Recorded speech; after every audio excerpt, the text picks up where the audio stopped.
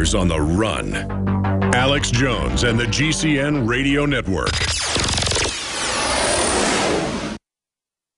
From the water table to our soils to the atmosphere itself, our world is becoming more and more toxic each and every day. But it's not just the air outside that's toxic. Indoor air has been shown to have two to five times higher concentrations of pollutants than even outdoor air. And most Americans spend 90% of their time inside using toxic chemicals within their homes. There are more than 42 million smokers in the United States. Well over a thousand types of mold and mildew linked to numerous conditions. And don't forget the fact that 6 million Americans live with pets they're allergic to as well. When I began to research these statistics, it was clear to me it was time to start cleansing my lungs in order to combat the toxic environment that we cannot escape, but that we can fight back against. Made with organic and wild cultivated herbs and manufactured in the USA, the new InfoWars Life Lung Cleanse is here in a convenient spray bottle that can be brought with you throughout any toxic environment. Now available exclusively at InfoWarsLife.com or by calling toll-free 888-253-3139. Alex Jones here to tell you about how you can help spread liberty worldwide while also enjoying what I have found to be the best tasting 100% organic coffee on the planet. For more than a decade, my favorite coffee has come from the high mountains of southern Mexico, where the Chiapas farmers grow their unique shade-grown Arabica beans. We have now managed to secure these sought-after beans in a highly customized blend. Discover and try a bag of the Patriot Blend 100% organic coffee at InfoWarsLife.com. This coffee gives you a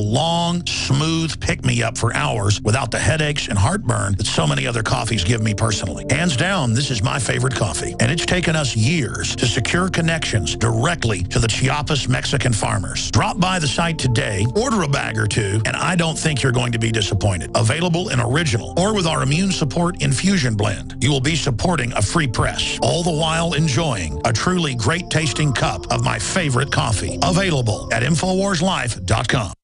The globalists have controlled the mainstream media for a long time, but now they're expanding and making the weaponization even more vicious and deceptive. All the major networks are state-run. We are partnering this year with the NFL. The NFL has become a political weapon against the Second Amendment and pushes Obamacare. MSNBC tells us that our children belong to the state. We have to break through our kind of private idea that kids belong to their parents or kids belong to their families and recognize that kids belong to whole communities. It is more important than ever to realize that we are not the alternative media. We are the true media. The establishment dinosaur press is dying. We are in an information war, and we are losing that war. Join us at InfoWarsNews.com and PrisonPlanet.tv. Members can share their memberships with up to 11 people. By subscribing, you will literally be buying war bonds in the info war to expand our operation in the face of the tyrants. Join us at PrisonPlanet.tv.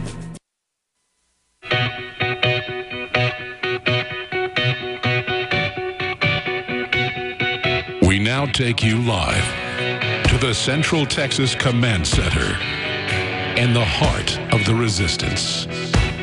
Rallying patriots worldwide. You're listening to The Alex Jones Show. As everyone knows, I'm not a Republican or a Democrat. If Republicans get back into office and then become tyrants, I will pivot over to trying to defeat the RINOs. But I am a libertarian. I am a constitutionalist. I'm pro-gun. I'm pro-life. So I've always been put in the Republican camp. And I was attacked by the left the entire time that I was criticizing the Patriot Act and George W. Bush. There isn't a war, isn't torture, isn't evil they don't like. They are the dominant party. The Republicans play the part of kind of the loyal opposition placeholder. But there's a libertarian constitutional movement to take it back. Ron Paul and myself and others started the Real Tea Party eight years ago. Really the election before last, I guess longer. Then it got big right before Obama got elected and then after. And the media made it partisan. The Tea Party used to go out and confront Republicans and Democrats. That's what we want. That's why you have the Republican and Democratic leadership with the wagon circle with the big Republican donors. This is no secret. It's on record. Attacking the real Tea Party right now. You've got Karl Rove's been doing it. because that's it for their takeover if we do this. But I'll tell you, Harry Reid is the leader of the Senate. He's the third most important person in the country when it comes to government. And he's dirty. Dirty Harry. He's got a lot of dirt on him. On campaign finance and his kids getting business deals for things he votes on. And finally, it's being asked about the Chinese deal and the land grabs. That was in the news two years ago when it first broke. They're trying to act like none of it's even real now. Because it's not his ranch where the main stuff goes in. They want his ranch as a set-aside and say it in the documents. We're going back to our guest here and then to your calls. But now it's finally up there. Fire Harry Reid becomes rallying cry heading into 2014 elections. Exactly what I was talking about. He's the poster child, folks. Harry Reid. That's in the Washington Times. How did he become so wealthy? Real Clear Politics talks about how he had no money when he got into Congress, and now he's filthy rich. I mean, Feinstein went in with like a million bucks. Some estimates are she's worth 150 mil. Lower estimates, 100 mil. And then she gives business deals to her husband who makes billions since she got in. Be pretty cool to have a wife that was a senator and gave you billions, huh? So how do they counter the fact that the establishment's in trouble? Well, you race bait. You don't like Obamacare, you're racist. Don't want to turn your guns in, you're racist. And then you can go around and get honest people to say, I think it's terrible. Blacks are in a new form of slavery. Will they be better off being back, you know, picking cotton? That sounds like something every old hillbilly I've known would say, talking bad about how the black community's been wrecked by the new form of slavery, not endorsing it. I mean, how many black leaders do I have on that are libertarians or Christians or conservatives who say pretty much what Bundy said? I bet if we get, uh, who's the Reverend on from New York? It'll pop in my head the minute we have one all the time. I'm having one of those moments. Where, no, not Childress. He's in Atlanta. And then I had the NAACP former leader up from up in Dallas on. He said this basically it's very similar things, but said it's smarter, a lot smarter. Like they replace one evil with a new evil. Um, the guy that calls Obama a long-legged Mac Daddy. He's in Harlem. we'll move on. ATLAH, ATLAH, that's what God says. And, and then now I'm having one of those moments. If you just go to ATLAH, he's right there. ATLAH worldwide. The point is, he would say all these same things. I, but I love how Childress, you know, and others expose abortion, but then they don't get called racist for not wanting to abort black people. But then Pastor Pastor David Manning, yes, that's the name. But then Bundy saying they're aborting all their kids. This is terrible. Isn't slavery better than killing your kids? And they turn that into racism. So going to a black member of the militia, an American, who has the same mind as I do, the same the same love of liberty, so I don't look at what color he is, Jason Bullock. We got some photos of him uh, out there with the security detail we'll put up on screen. Uh, closing comments on what I just said. Do you agree? Do you disagree? What do you have to say on that front, sir? first, I have to say that I'm not associated with the militia. I'm an individual patriot. Okay, well, I want to, uh, uh, same thing. I mean, every man until you're like 48's in the militia. So I'm in the militia. Second Amendment's the militia. So you're a, you're an individual patriot. How how else would you describe yourself? Um, I'm an American. I was born here. I was raised here. I don't call myself African American because I've never been to Africa. So, so what do you think of the statements I just made uh, in relation? I mean, do you agree with them, disagree? You want to augment them, want to subtract from them? Well, I, I agree with what you're saying, and um, that people have just become so used to taking things out of context and all for the sake of political correctness, and it's it's really that's one of the ways they're destroying this nation, and it needs to stop. Well, that's why we're all here. Well, they're scared of a thousand people marching up against feds with the guns aimed at them, the feds saying we're going to shoot you, and the feds having to back down. So what did you expect? Of course it was going to be racism. And Bundy got asked questions about why aren't there any minorities here? And he said, I've invited them. I wish they were here. And, and then he went into a whole spiel about the new slavery. Do you want to apologize for being racist against black people because you don't want to abort them all? Or, or, or do you support the liberals who aren't racist who want to kill basically all black people? Um, I I really can't say what side I'm on, and actually, I have to go right now. I um have some some some uh something to do for this detail. Okay, good. Well, I was being sarcastic, so you know. I'm saying Margaret oh. Sanger and those folks are the real racists. How long are you going to be out there again? another two weeks? I'll be out here for at least two weeks. All right. Well, listen, we appreciate you talking to us. Give us the name of your Instagram so folks can check it out. My Instagram is uh, Grizzles the Beast, all one word. All right. Well, were you there during the big famous event that happened when everybody walked across the line? Yes, I was there. Uh, in 30 seconds, what was your take on that epic moment? I I almost shed a tear of joy. All right. Well, listen, uh, Mr. Bullock, thank you so much for joining us. Thank you, sir. Thanks for having me. All right. There he goes, folks. I guess some people are arriving. They got to go check out what's going on.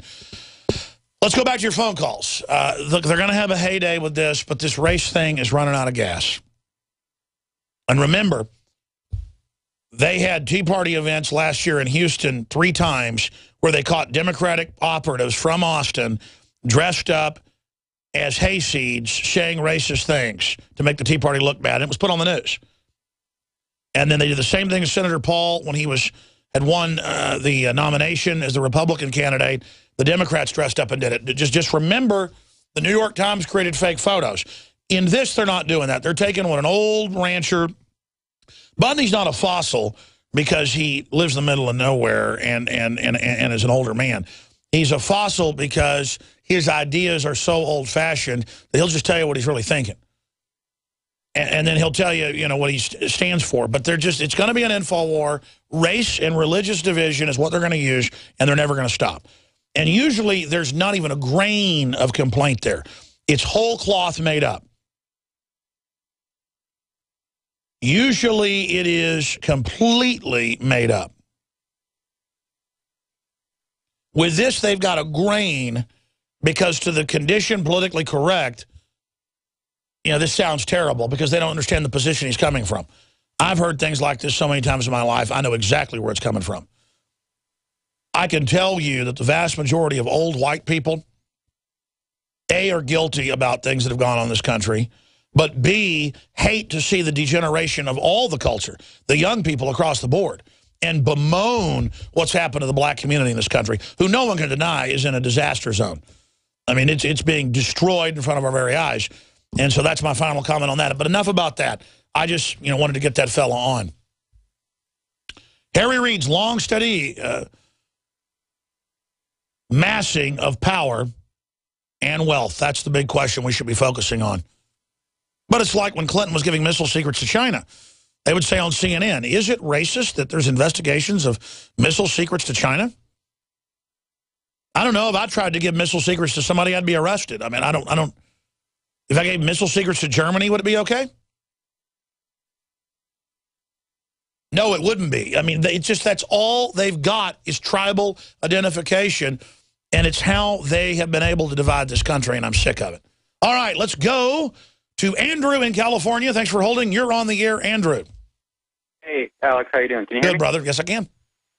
Excellent. So I wanted to say that my uh, dad, who's in the military, uh, high up in the Army, confirmed all the FEMA camps throughout the United States and the fact that when there is a national emergency, FEMA takes over. Not even the executive branch, he was saying. That's yeah, that's in all the executive orders that are public. It's in the uh, Emergency Centers Establishment Act, Rex 84, Garden Plot, Cable Splicer, all declassified. Civilian inmate labor camp program. Yeah, and he's even saying that's completely just unconstitutional. So your dad's currently in the Army or just out of it? Tell us what he says. No, he's currently in the Army. He's about to retire this year. They're forcing him to retire. Tell, tell, us what his rank is and specifics of what he said to you. Describe him coming in and saying, son, the FEMA camps are real, word for word. Okay. Um, he is a major in the U.S. Army. Uh, he was deployed in Bosnia and then Iraq twice. And I asked him about, you know, FEMA camps, and he confirmed, yes, they have them all over the United States. But he still kind of thinks they're, you know, they're using them more for emergency. I don't know if he's on bar as much as, you know, we would be. But he, he confirmed everything and said they will take over. He said they will take over. Period. The governor can't do anything about it. They take over. That's it. Yeah, that's the John Warner Defense Authorization Act says that for insurrection by the states or governors or legislatures, how they're going to federalize the National Guard, seize all infrastructure and communications of anybody that doesn't play ball, and then it expanded on with Obama, and it's total high treason. But to have that takeover, they've got to collapse things and blame it on something else. So you've got to get that intel to your dad so he understands.